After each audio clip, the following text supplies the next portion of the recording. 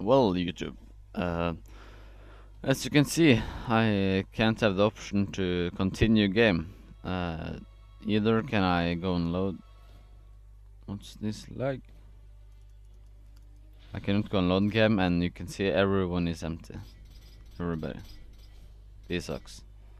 And yeah, I uh, my game seems to be have been deleted, so I won't upload any more dark Darksiders videos. I'm sorry, but shit happens, and yeah, we'll see if uh, if we'll start with the Dragon Dragon Age Origins. So you decide what class we're gonna play. So just uh, send me a private message on YouTube and tell me what class you want us uh, want me to play on uh, Dragon Age Origins.